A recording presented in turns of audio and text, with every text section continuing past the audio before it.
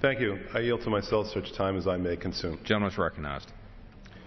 I rise today in support of House Resolution 600 uh, to extend my gratitude to Chairman Royce and to urge my colleagues' support as well. This Saturday, the people of Afghanistan will travel to the polls to elect a new president in a runoff election. The victorious candidate will replace Hamid Karzai, who has led Afghanistan since 2001. House Resolution 600 recognizes this important moment in history and urges the government of Afghanistan to pursue a transparent, credible, and inclusive runoff presidential election while ensuring the safety of voters, candidates, poll workers, and election observers.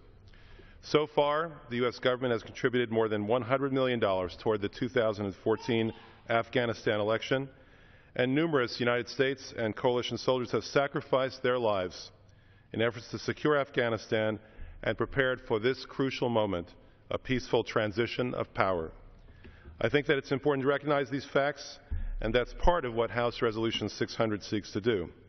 On April 5th, the government of Afghanistan held its first round of a presidential election in which almost 60% of the eligible voters participated.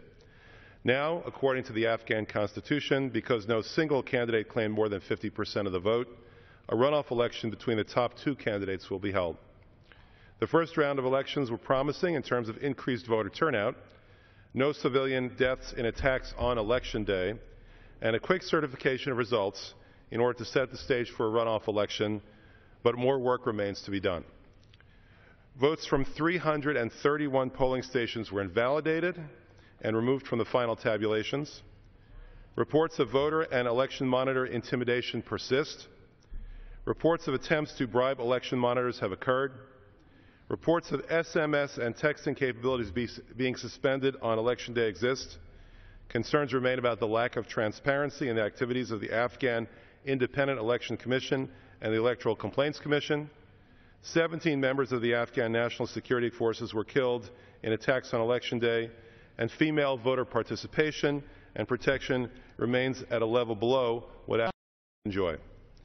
In light of these issues, House Resolution 600 commends the government of Afghanistan for holding the first round of elections and scheduling a second, expresses support for a credible, inclusive, and transparent runoff election, supports the mandate of Afghan electoral bodies to prevent voter fraud and misconduct, encourages the government of Afghanistan to implement measures that will increase voter participation, particularly among Afghan females, and urges security forces to continue to provide protection to vulnerable areas of the country during the election period as well as recognizing the sacrifices of those forces that have contributed and will continue to contribute to the security and stability of Afghanistan. This is an exciting time for Afghanistan, Mr. Speaker, and this election is an important one. American forces have been in Afghanistan now for a decade, and most of them are now coming home. This election will be crucial in proving to the world that Afghanistan is ready again to chart its own course and to provide its own security. I wish the Afghan people well in this endeavor, and I reserve the balance of my time. Gentleman